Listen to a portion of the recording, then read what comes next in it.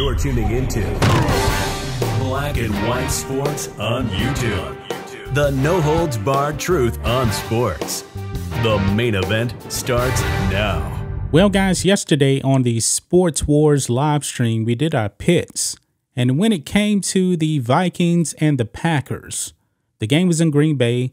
I actually picked the Vikings to put the Packers out of the misery. Now, the Packers, they have not looked good this season for the most part. Now, they have been coming on late and uh, they actually look pretty good. Last night, folks, it was a complete wipeout.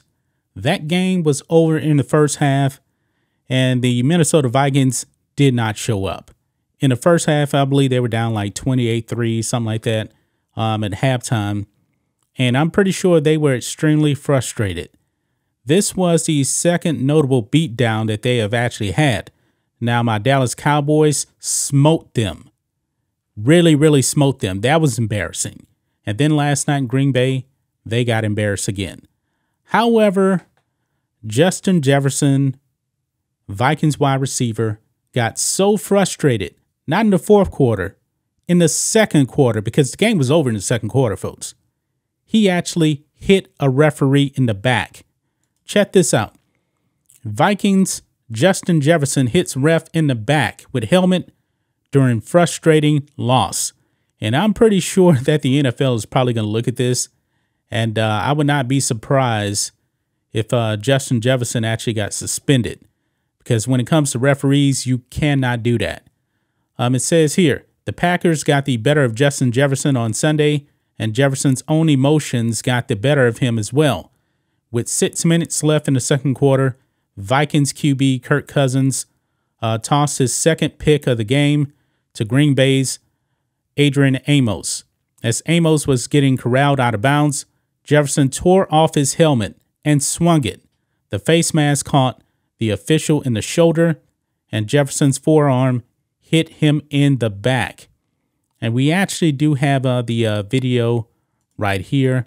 So let's go ahead and uh, and look at um, the clip here. There's a little frustration here as you right there. Watch it. Oh, Jefferson. And then Takes off his helmet. So mad. Oh, Got him. elbow right to the back of the ref. He did not like that one. Watch. Accidental. Ooh. That's a good thing he put on the brakes. He's the good thing he wasn't looking at it because that. Yeah, I don't. He was so frustrated. I believe he kind of caught himself, but still, he still made contact with an official. Um, it says the referee did not appear harmed. It definitely could have been worse had Jefferson hit the official with the crown of the helmet a few inches above the shoulder.